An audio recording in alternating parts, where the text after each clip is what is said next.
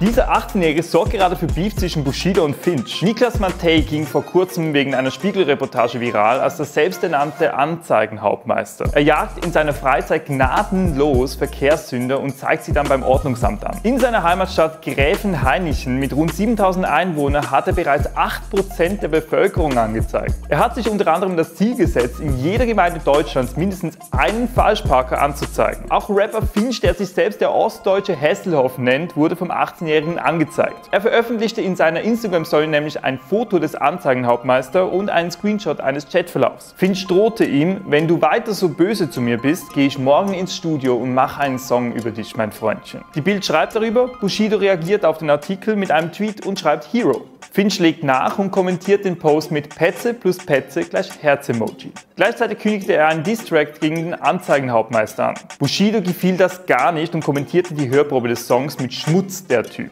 Jetzt würde mich interessieren, welcher deiner Freunde würde noch am ehesten zum Anzeigenhauptmeister Österreichs werden? Markiere ihn in den Kommentaren.